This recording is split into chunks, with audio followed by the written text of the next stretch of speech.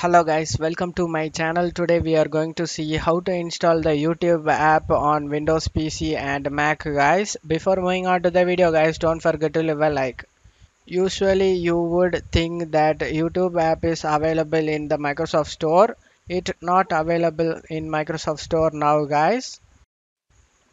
To download for Mac users, you just need to open up Safari, navigate to youtube.com now you just need to click on file and click on add to dock type youtube over here and select add.